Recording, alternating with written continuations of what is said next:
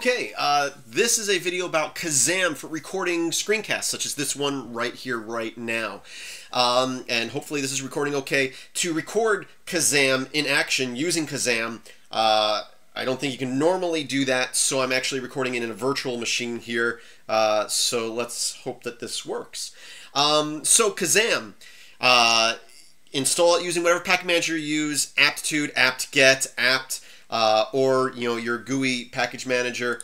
And once it's installed, just you know find Kazam and open it up, and it has this simple window. It's very simple to use. It's very straightforward. There's a few things I want to go over so you don't make one or two mistakes that I've made. First of all, it can do video uh, recording. That's what the screencast is, and it can also do still shots, which I actually haven't used it for yet.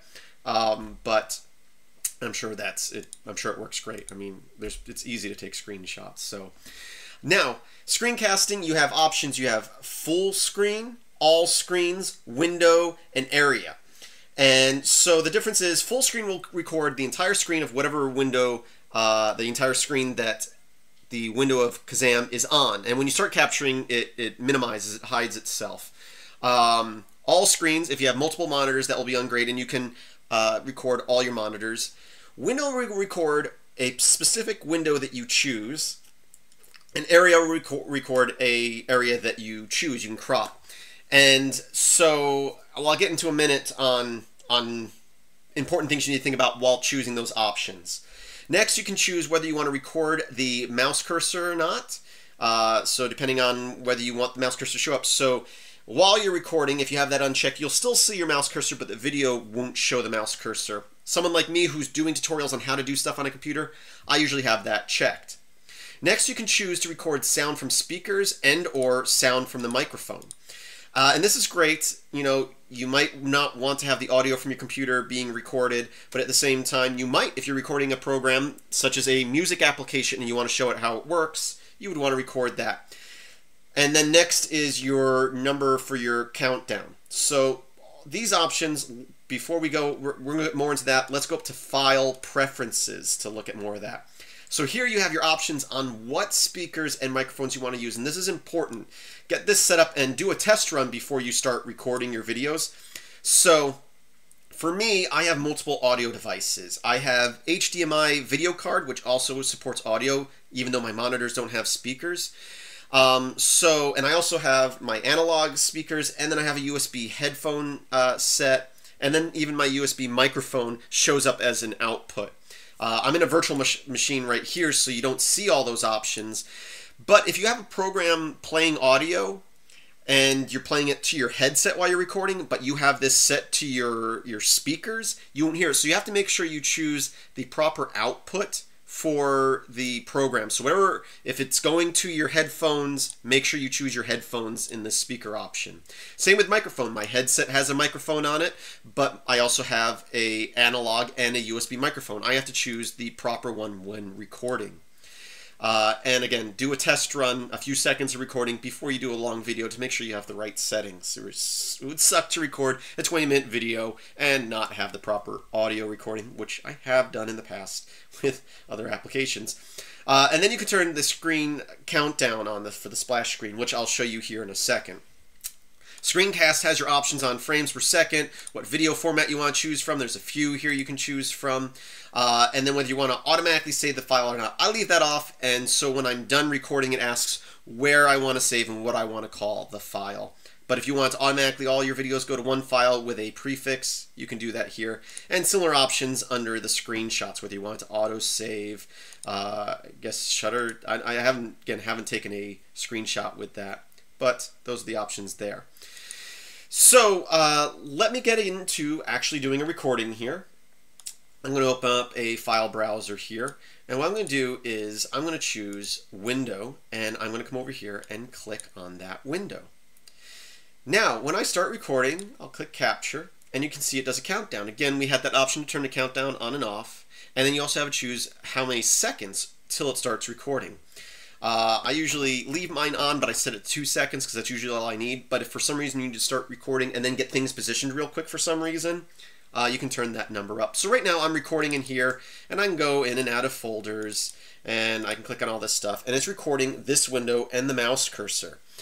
Um, but since I chose a specific window, this is how one thing that varies from what I've done in the past. So for the last couple of years, I've been using FFmpeg to record videos. I did a tutorial on it years ago. I had a specific little script uh, that I used.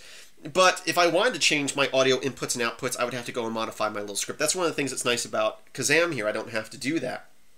Um, and I also had set so I could record a certain window, but when I chose that window, basically I'm really doing an area record, not specifically to that window. So watch here, I'm going to open up a shell here, and you can see the shell is in front of this program. But the screen capture program Kazam is actually not recording this at all. It's still recording this window as if that window is not in front of it. So in fact, I'm going to stop my recording here so I can, you can choose pause recording uh, and then later on start recording again. Or I can just finish, and since I chose not to autosave, it's going to ask if I want to open it up in an editor, if you have one set up, or save for later on. If you decide you didn't like the video, you can always hit cancel. I'm going to hit continue, and I'm just going to save this as temp, uh, my temp folder 123.mp4. So let me actually go to that file, and I'll open it up in my player here, and I'll jump ahead a little bit so you can see me actually doing stuff in this video. So you can see the mouse cursor, I'm clicking on folders, and it's recording that window. But if I go ahead a little bit, maybe to like here, uh, so at one point here, I this shell window is actually supposed to be right there right now I'm pretty sure yeah you can see that the cursor hand is a hand instead of an arrow I'm actually dragging the shell in front of it but you don't see it this is a good and bad thing depending on your situation. And this is important because I messed up the other day using this functionality. So what's good and bad about this? So any of the other options, whether you select an area, a full window, or all your screens, um, it's going to record anything in the area that you're recording, whether it's that full screen or a selected area. So it will record multiple windows. Selecting the window, as I just showed you, only records that window. This is great for when I'm recording something. Sometimes I forget to turn off uh, a chat program such as I have Google Hangouts running all the time. And since I use Google Fi and Google Voice, all my texts and phone calls all come to my computer and they pop up on the window. So if I forget to to mute that and someone sends me a text or someone calls, a window will pop up on my screen saying, you know, you got a call from, and it shows their name and their phone number, maybe their picture, and if they sent me a text, what it says. And that really sucks when you're recording a screencast to put up on YouTube because now I got to stop my recording and cut out that part of the video and start recording again. Otherwise, everyone's going to get someone's phone number, and I shouldn't be giving out people's phone numbers. So that's the good thing about doing the window recording. Bad thing about the window recording is again, it's only recording that window. So if you want to show more than one window, let's say you're showing, you're doing a video on something and then you want to show an example and you, you know, let's say I'm working in GIMP, which uh, may or may not have multiple windows depending on how you're recording. So that's one issue there. Uh, but let's say I'm, I'm in, a, in, any photo editing program. I go, oh, let's get a video, uh, a photo offline, and I open up Chrome or Firefox, and I go, let's search for this. You're not going to see any of that. Or another example is a mistake I made the other day when I was doing a, a motion tracking video for Blender. You, some of you may have watched this, and I'm recording it in a window mode, so I'm only recording the Blender window, and I wasn't thinking, and I opened up the preference window to show people something.